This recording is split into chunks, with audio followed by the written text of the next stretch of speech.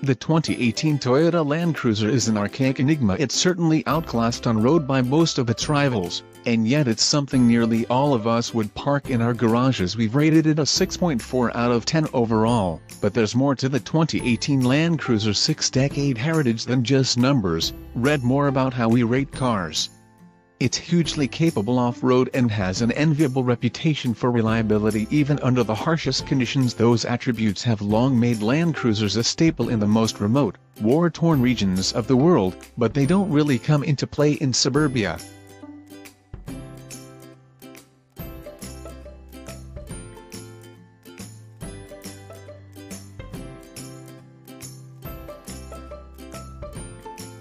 This year, the Land Cruiser is largely unchanged after a hefty refresh in 2016 its rear seat entertainment system gets with the times and becomes a standalone option instead of standard, since most kids are attached to their tablets these days, and its exterior mirrors now fold inward. When the SUV is locked Lexus dealers sell their own version of the Land Cruiser as the LX570 aside from some suspension changes, styling differences, and a predictably tonier interior, the LX 570 is essentially the same vehicle.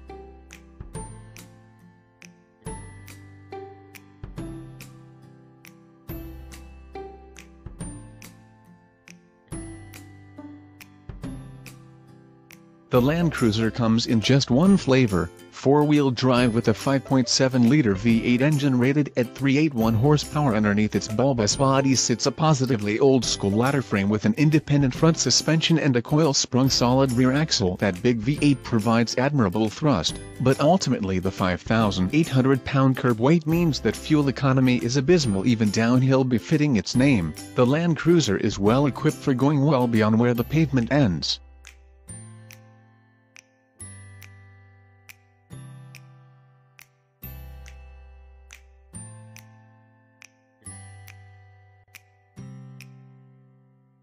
Full-time four-wheel drive with a proper low range, a locking center differential, a multi-mode traction control system, and a crawl control knob that works like off-road cruise control are all standard affair Land Cruisers employ Toyota's Kinetic Dynamic Suspension System, which combines extra-large sway bars with an automatic hydraulic disconnect to reduce body lean off-road while still allowing for tremendous wheel articulation on road the system doesn't turn the Land Cruiser into a corner carver, but it does take winding roads with commendably limited body lean.